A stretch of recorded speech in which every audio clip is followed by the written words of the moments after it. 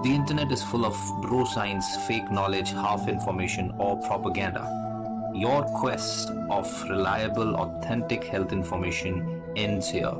So, subscribe this channel and hit the bell icon, and you never have to go anywhere else ever again. Blood clots नमस्कार आदाब सत श्रीकाल मैं हूँ doctor Paramjit आप देख रहे हैं डॉक्टर एजुकेशन जी हाँ आज हम बात करेंगे ब्लड क्लॉट्स के बारे में क्या होते हैं ब्लड क्लॉट्स कहाँ से आते हैं? आजकल ब्लड क्लॉट्स के नंबर्स ऑलरेडी बढ़ रहे हैं। कोविड के चलते कोरोना के चलते कई सारों के ब्लड क्लॉट की टेंडेंसी भी बढ़ गई है। एक चीज़ आप वैसे सुन रहे हैं न्यूज़ में सो so, लोगों को अपने शरीर में लाल निशान दिख रहे हैं नीले निशान दिख रहे हैं तो ब्लड क्लॉट से डर जाते हैं। तो क्या वो ब्लड क्लॉट्स हैं या ब्लड क्लॉट्स होते कहाँ हैं? क्या स्किन के नीचे ब्लड क्लॉट्स डेंजरस होते हैं? नहीं। कौन से ब्लड क्लॉट्स डेंजरस होते हैं? कहाँ के ब्लड क्लॉट डेंजरस होते हैं? सबसे खतरनाक कहाँ होता है? उसको ठीक कैसे करना है, उसको प्रिवेंट कैसे करना है, क्या उसमें अदरक लहसन कुछ खाने से फ़ायदा होगा कि नहीं होगा, क्या blood clot acute blood clot आ जाने से, आ जाने का क्या क्या ऑप्शन हैं आपके पास ट्रीटमेंट के, समय कितना है आपके पास, ये सारी चीज़ों का आज हम वार्तालाप करेंगे आपके साथ। और लगे रहिए हमारे साथ। अगर आपने अभी तक हमारे इस चैनल को सब्सक्राइब नहीं किया है तो कृपया लाल बटन को दबा लें और सब्सक्राइब करें, लाइक करें और इस वीडियो को शेयर करें और लाइक का बटन ज़रूर दबाइए और हमसे ज़रूर जुड़े रहिए। आइए बात करते हैं इस टॉपिक पे।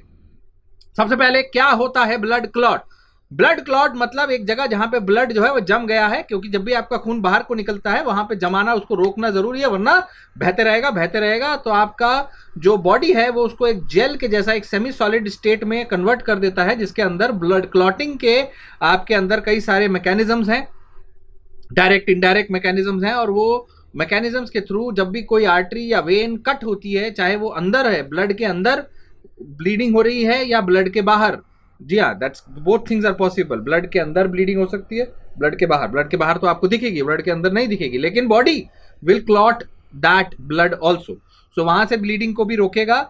अगर वहाँ पे क्लॉट आ जाता है तो कई बार वो क्लॉट वहीं फिक्स हो जाता है. कई बार वो क्लॉट वहाँ फिक्स हो जाता है मीनिंग बॉडी ट्राई करती है कि वो एरिया जो है वो फिक्स हो जाए, वो जाम हो जाए. बॉडी का इंटेंशन है कि वो क्लॉट जो वहाँ बनता है, वो वहाँ पर ब्लीडिंग रोके और ऐसा नहीं कि वो ब्लॉक कर दे। ऑब्वियसली ये डिपेंड करता है कितनी मोटी नस है। अगर नस ही बहुत, खून की नस बहुत ही छोटी है तो एक छोटा सा क्लॉट भी उसको बंद कर देगा। और अगर बहुत ही बड़ी है तो छोटा सा क्लॉट एक हिस्सा बन के रह जाएगा। वो क्लॉट को इमोबिलाइज करना बहुत ज़रूरी है। क्यों? क्योंकि बॉडी का ये काम है कि अगर वो क्लॉट वहाँ से टूट टाट के निकलने लग गया, मान लो क्लॉट ने ब्लीडिंग तो रोक दी फिर उसके ऊपर और क्लॉट पे क्लॉट बनते रह उसका एक बड़ा सा हिस्सा टूट के निकल गया तो बड़ी नस से निकल के वो छोटी नस को तो ब्लॉक कर देगा। तो इसलिए ये चीज़ बॉडी अलाउ नहीं करती। तो बॉडी का एक इनबिल्ट मैकेनिज्म है to organize the clot and calcify it वो ऑर्गेनाइज करके उसमें कैल्शियम डिपॉजिट करके उसको फिक्स कर देती है। Over a period of time ये दिनों का काम नहीं है, महीनों का काम है, सालों का काम है स्लोली होता है। ठीक है? सो क्लॉट्स बनते हैं, सबके शरीर में बनते हैं अंदर ही अंदर बनते हैं, एक उम्र के बाद ज़्यादा बनते हैं। कुछ बीमारियाँ क्लॉट्स का बनने की टेंडेंसी बढ़ा देती हैं। जैसे कि high blood pressure cigarette smoking diabetes उम्र के साथ वैसे ही बढ़ जाते हैं मोटापा और साथ में कई सारी जेनेटिक बीमारियाँ, ऐसी और भी होते हैं। तो जैसा मैंने कहा ब्लड क्लॉट बनते हैं तो टेक्निकली वो दो टाइप के हुए, एक होगा आर्टरी में, एक होगा वेन में। आर्टरी जैसा कि आप जानते हैं, खून की नस जो हार्ट से बाहर लेके जा रही है ब्लड आपके ऑर्गन्स आपके टिश्यूज को वेन जो वापस लेके आ रही है। तो अगर आर्टरी में कोई क्लॉट आएगा तो बाहर जाते हुए खून को रोकेगा तो ऑर्गन में ब्लड ही नहीं जाएगा। मान लो इस उंगली में ब्लड नहीं जा रहा तो वो वो काली होने लगेगी। है कि नहीं? ब्लड ही नहीं जा रहा, सूखने लगेगी। तो ऐसे कोई लक्षण दिखते हैं तो पेरिफेरल वैस्कुलर डिज़ीज़ यानी क्लॉट्स हैं। आपके खून की नसों। आर आर्टरी में। वेन में अगर क्लॉट होगा, वापस आने वाली नसों में तो खून जा तो रहा है उस ऑर्गन में, लेकिन वापस नहीं आ रहा तो वहाँ खून जमा होने लगेगा, वहाँ पर सूजन होने लगेगी। तो वो सूजन अगर आ रही है और वेनस वहाँ पे नीला भी पड़ेगा, लेकिन स्लोली काला नहीं पड़ेगा। नीला पड़ने लगेगा, वो वेन क्लॉट अब यही चीज़ अगर आपके किसी एक ऑर्गन के साथ हो, आपके आपके स्प्लीन के साथ हो तो स्प्लीन डैमेज होने लगेगी। लंग्स के साथ हो तो लंग डैमेज सांस रुक जाएगी। ब्रेन के साथ हो तो ब्रेन डैमेज बेहोश हो जाओगे कोमा में चले जाओगे, मर सकते हो। हार्ट के साथ हो तो हार्ट अटैक हो जाएगा। यही सारा किस्सा है क्लॉट का पूरी ज़िंदगी में। छोटी उंगली में या इधर उधर बन गया तो आप इग्नोर कर देते हो या कभी कभार क्लॉट अपने आप हिल भी जाता है, निकल भी जाता है। जी हाँ क्लॉट मतलब एक जगह से मान लीजिए टूट के निकला, फंसा, फिर निकल गया। निकल गया। ऐसा भी होता है। वेन में सबसे कॉमन क्लॉट अगर बोलेंगे तो उसको कहते हैं डीवीटी पैरों में क्लॉट जी हाँ पैरों में मोटी मोटी वेन्स होती हैं जो उम्र के साथ या वज़न के साथ या बहुत ज़्यादा खड़े होने से डायलेट हो जाती हैं, बड़ी हो जाती हैं और फिर उसमें क्लॉट्स बनना आसान हो जाता है।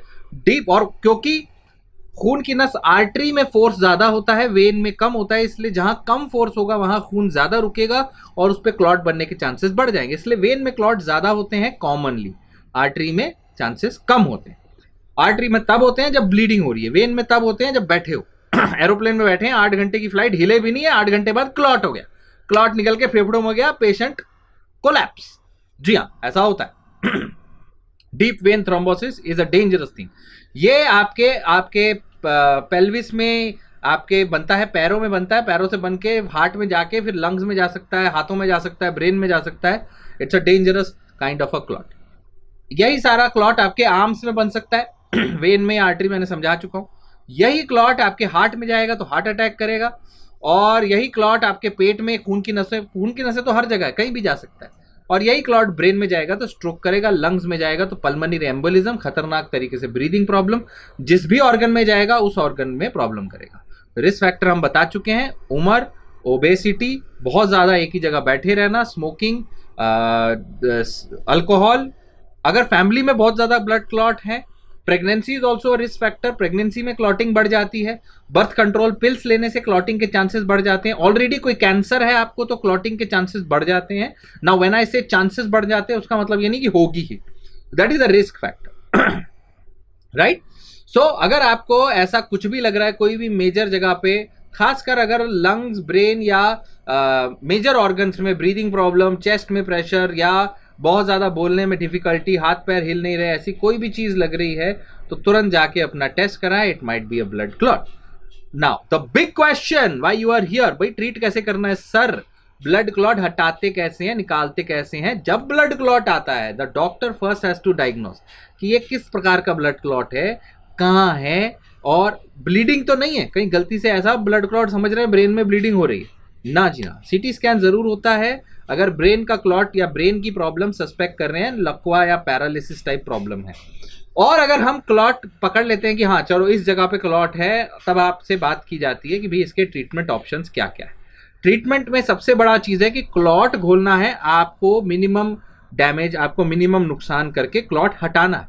ऑब्वियस सी बात है, हम सर्जरी तो कर ही सकते हैं ऑपरेशन तो कर ही सकते हैं कहीं भी हो, अगर बाहर बाहर है तो उसको खोल के क्लॉट हटा दिया और नस बंद कर दी। Vascular surgery is a possibility लेकिन हर जगह वेस्कुलर सर्जरी करना अपने आप में एक मेजर ऑपरेशन हो जाता है और वो करना हर जगह पॉसिबल नहीं होता।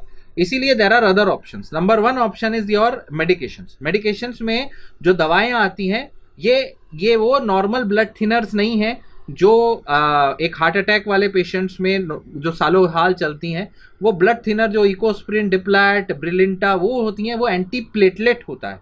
वो एंटी प्लेटलेट जो है और क्लॉट बनने से रोकेगी।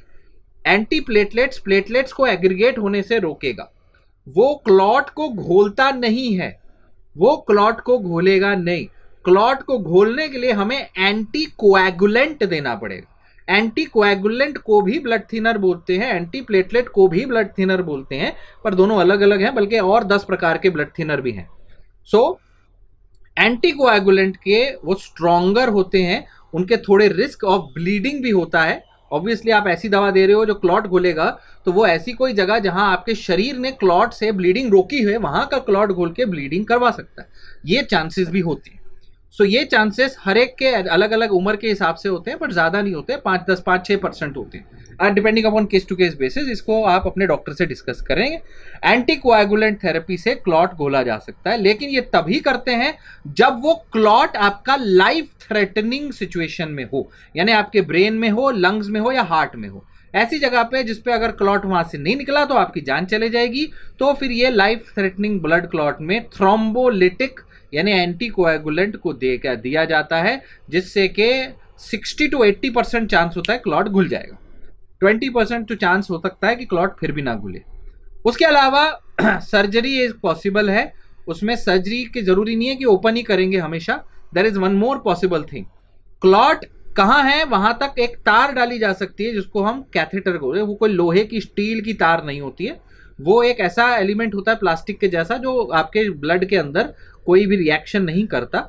आपके ब्लड के थ्रू वो डाला जाता है और वो ब्लड की खून की नसों से ही अंदर तक क्लॉट तक जाया जाता है और वो क्लॉट को वहाँ तक ले जाके डायरेक्ट वहाँ पर ये क्लॉट घोलने की दवा भी दे सकते हैं। वहाँ पर क्लॉट को सक करके उस कैथेटर उस पाइप के अंदर से खींच भी सकते हैं। और अगर क्लॉट बहुत टाइट हो गया है तो वहाँ पर एक ड्रिल डाल के लिटरली ड्रिल भी कर सकते हैं। तो बहुत सारी फैसिलिटीज़ न्यू न्यू टेक्नोलॉजीज़ आ गई है, जिसको हम इंटरवेंशनल सर्जरी बोलते हैं।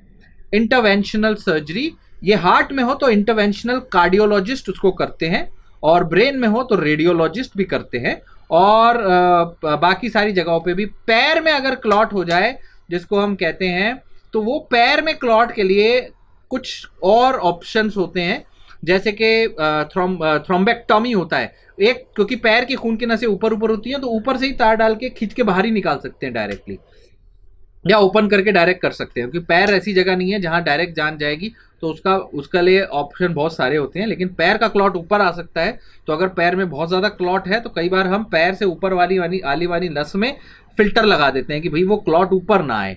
कम से कम ऊपर ना आए, क्योंकि कई बार ऐसा होता है कि निकाल ही नहीं सकते, क्लॉट इतना जम चुका है, बहुत हो चुका है तो ऊपर आ गया टूट टाट के तो फिर बहुत प्रॉब्लम हो जाएगी, इसलिए वो भी ऑप्शन है जिस called of IVC filter so surgery option हैं blood thinners option anticoagulant thrombolytics option हैं, पैर में आगे क्लॉट ना बने, इसके लिए कंप्रेशन स्टॉकिंग्स पहनते हैं वीना केवा सॉरी और वीना केवा फिल्टर्स ऑप्शन है, मैंने ये आपको बताया।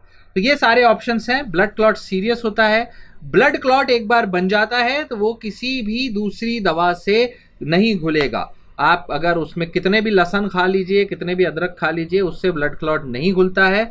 उनके अंदर एंटी प्लेटलेट एक्शन है, लेकिन एंटी प्लेटलेट मेडिकेशन से एंटी कोएगुलेंट एक्शन नहीं होता। यू हैव टू अंडरस्टैंड उसमें थोड़ी प्रॉपर्टीज़ है एंटी प्लेटलेट जैसे कुछ दवाओं में एंटी बैक्टीरियल प्रॉपर्टी होती है। एंटी बैक्टीरियल प्रॉपर्टीज़ और एंटी की क्या मतलब ये नहीं है कि हर इन्फेक्शन में आप एंटी बैक्टीरियल कोई एक चीज़, नीम, तुलसी खा लोगे तो हर इन्फेक्शन ठीक हो ही जाएगा। पक्की बात नहीं है। कुछ लोग बिना किसी चीज़ के भी ठीक हो जाते हैं। बिल्कुल वैसे कुछ लोगों का क्लॉट्स बिना किसी चीज़ के भी वहाँ से निकल जाते हैं और शरीर में खुद का भी मैकेनिज्म होता है थोड़ा बहुत क्लॉट घोलने का, वो भी घोल देता है। So again remember talk to your doctor जिस पे भरोसा है उससे बात करिए, उसकी बात मानिए, अपनी जान के साथ खेलिए मत। क्लॉट लग रहा है या ऐसी कोई सीरियस सिचुएशन लग रही है you have to go to a doctor immediately thank you so much please share this video to every one make sure भाई, हमारी एफर्ट्स हर एक तक पहुँचे. Thank you so much stay connected stay health